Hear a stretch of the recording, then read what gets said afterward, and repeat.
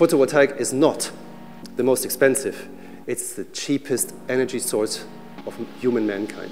For the second year in a row, solar is the number one source of new installations in the world. On subsidized projects, things are happening quite quickly.